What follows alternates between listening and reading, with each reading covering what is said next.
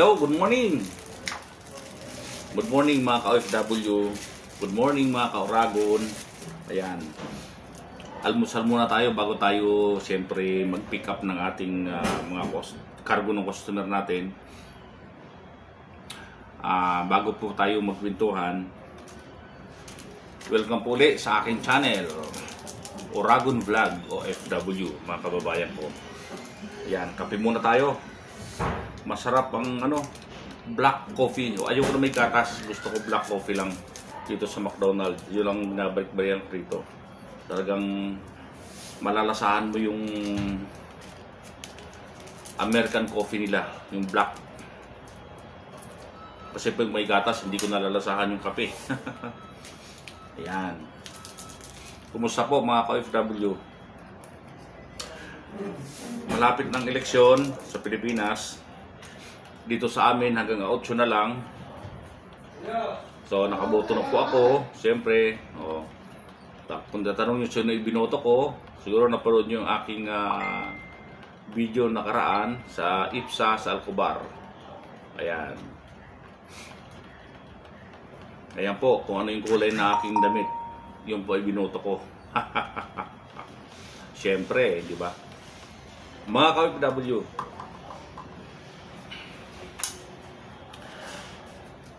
tayo pong mga butante, ay may kanya-kanya tayong pananaw sa ating mga kandidato. Ah, sarap. Igalang po natin kung anong saloobin at desisyon ng kapwa natin. Huwag po natin silang pilitin na iboto yung iboboto natin kung ayaw nila. Hindi nyo na po kailangan pang kung ano-anong sasabihin sa kabilang kandidato para lang iboto ang kandidato nyo. Tandaan nyo po yan. Dahil kung anong gusto ng nasa loob, sa loobin ng isang butante, hindi nyo na po mababago yan. Yun na talaga ang kanyang iboboto.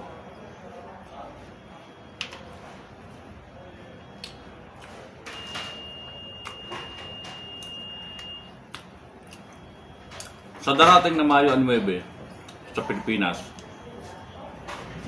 final decision ng mga botante kung sino talaga ang kanilang gustong iupo sa pagkapangulo ng Pilipinas. Siyempre, ang mananalo, majority.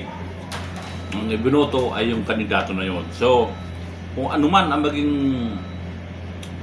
desisyon at maging resulta ng eleksyon, basta walang dayaan, igalang po natin ang desisyon ng taong bayan. Mapalinig man yan, mapabungbong man yan, ang manalo, igalang natin, at respeto natin ang gusto ng karamihan. Siyempre, kaya nanalo yung kandidato na yun, yun ang binoto ng majority. Kaya doon sa talunan, huwag na kayong mag-react pa kung wala kung hindi naman na nadala ang pagkapanalo sa diyan. Respeto nyo na lang ang desisyon ng taong bayan. Yan po ang tamang mindset ng isang butante, ng isang Pilipino. Hindi yung mga away pa kayo pag kahit na hindi kayo dinaya, manggugulo pa kayo. Maling mali.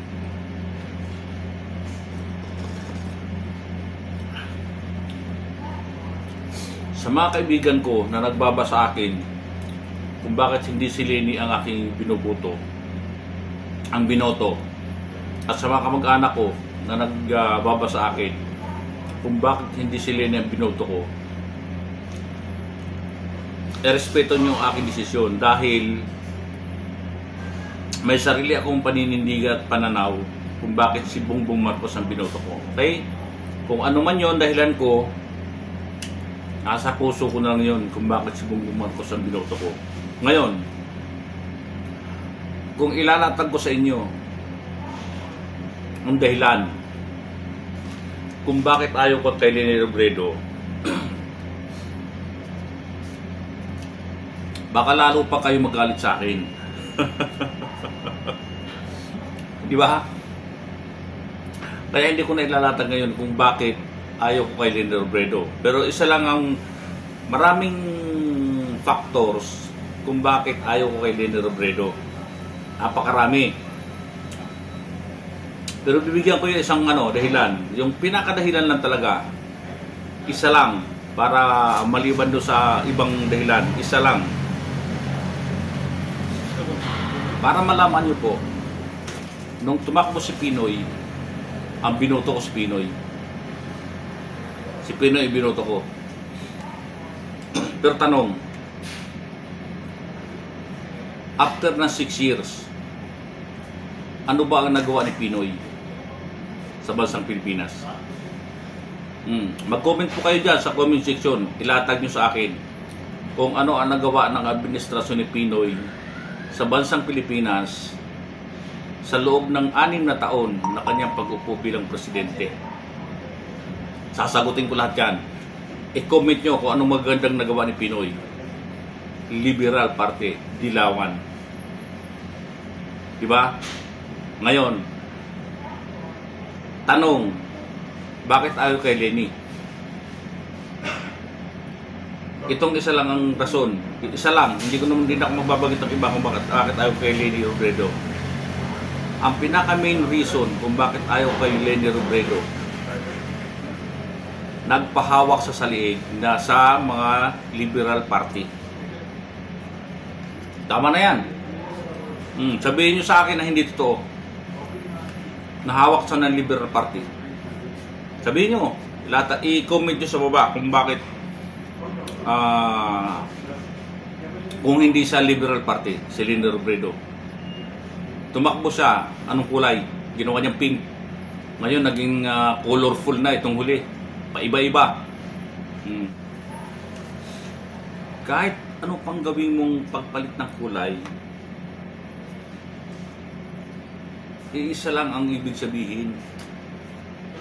Dahil under ka ng Liberal Party, hawak ka sa liig ng Liberal Party. Tapos ang laban, yun lang. Yan ang dahilan kung bakit ayaw ko kay Denny Robredo. Okay, mga kaibigan ko, mga nagbaba sa akin, ba't ayaw kay Denny Robredo at aking mga kamag-anak. Ngayon, kung hindi pa rin kayo natatauhan, bahala na kayo sa buhay nyo. Wala po akong pakialam kung si Lenny Robredo ang inyong iboboto. Okay, basta ako, huwag niyong pakialaman.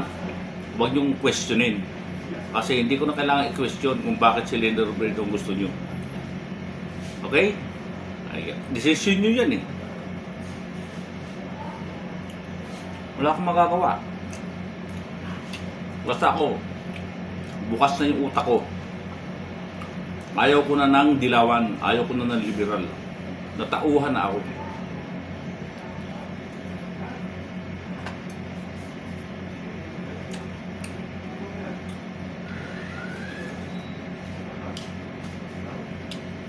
Yung bang issue, tungkol kay Nela Robredo, napakarami. So, bahala na kayo magsaliksik o tanggapin nyo ayaw tanggapin. Bulag man kayo, bingi, o nasa sa inyo na yan.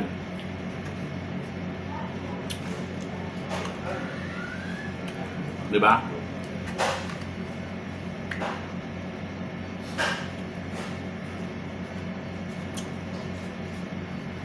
Yan, masarap pagkape.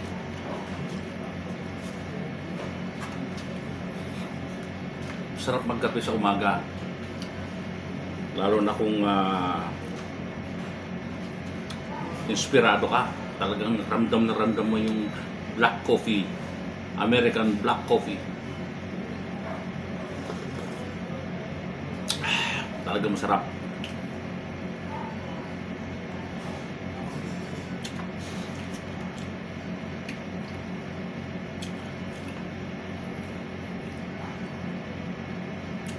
May napanood ko ako isang video ni Manny Pacquiao na parang talagang hindi mo malalam malaman kung ginagamit talaga utak ng sa kanyang mga sinasabi. Na kung si BBM daw ang mananalo, magkakagulo ang mga tao, ang Pilipinas. Isipin niyo yun. Manny Pacquiao, isa kang senador. Ang dating kasi sa tao niya, para kang nananakot. Tinatakot mo ang tao para hindi magkagulo, wag yung iboto si Marcos. Yun lang ang logic dun eh. Hindi mo dapat sabihin niya sa mga tao. Dahil wala kang basihan para mangyari yun. Isa ka pa naman senador.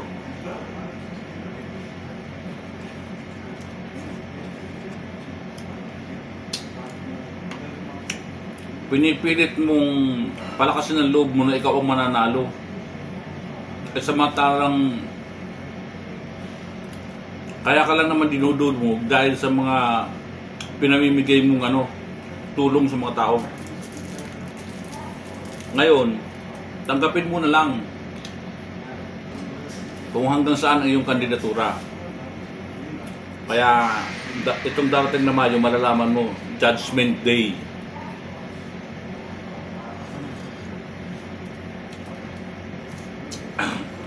Araw-araw mong binabanatan ng mga Marcos. Pag na maka, nakaupo si Marcos, butatak ka ngayon. Wala kang mukhang maiharap. Bagay, maya, mayaman ka naman eh. Kaya lang, yung mukha mo, di mo di mo maiharap sa tao dahil ang ibig sabihin, natalo ka, ayaw kang iboto ng majority. Yun lang yun, di ba?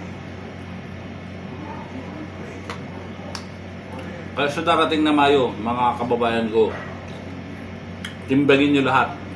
Okay? Timbangin nyo lahat ang mga kumakandidato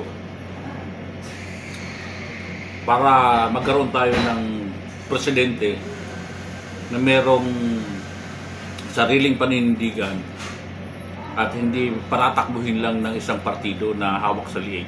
Okay? So, yun lang po mga kababayan ko. Thanks for watching and uh, please like and share po ng aking YouTube at uh, subscribe na rin po kayo. Baka hindi pa kayo nakasubscribe sa akin channel Oragon Vlog OFW. Okay? Maraming salamat mga kababayan ko. Bye-bye!